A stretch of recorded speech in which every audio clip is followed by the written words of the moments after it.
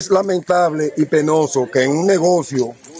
que se esté bregando con agua, donde hay tanto peligro, no hay una seguridad que una persona necesite ya auxilio y no aparezca nadie y deja a una persona que se ahogue en una laguna simplemente donde lo que más es el lodo y en un botecito permitir que le pongan cinco personas, si pueden ver la evidencia de ese botecito que hay ahí, eso fue provocado por la misma autoridad de este negocio. Estábamos ahí adentro y el bote se olvidó porque tenía supuestamente mucha gente. Y cuando estamos ahí adentro, el bote como que cogió mucha agua y se olvidó. Y cuando nosotros nos olvidamos, la mujer se estaba jugando y no sabe nada y él la estaba tratando de sacar y él le fue por delante y cuando él le fue por delante, ella lo que hizo,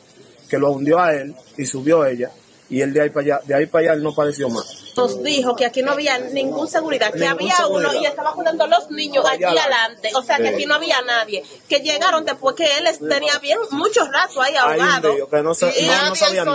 y, aquí ahora de nada se reunieron y tienen otra versión porque como nosotros somos pobres y de nada van a hacer su, su, su, vaina por ahí, pero nosotros queremos porque eso es responsabilidad de los que trabajan aquí, porque aquí debe haber personal autorizado para cuidar a las personas. Ellos tomaron uno de los cayucos que habitualmente están en la caseta central de allá y lo jalaron para acá,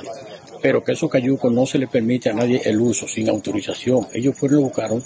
y se montaron alrededor de tres personas en el cayuco,